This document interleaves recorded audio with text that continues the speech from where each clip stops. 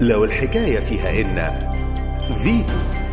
لا يمكن اي سد اللي هو بعد انت حضرتك فضاء نبه على النقطة دي مش عارف إعلامي يعمل فضاء يعمل لا يحد دول لا يعني لا يعني حضرتك انت حضرتك. يعني حضرتك ان شاء الله إحنا إحنا إحنا بنقول كده.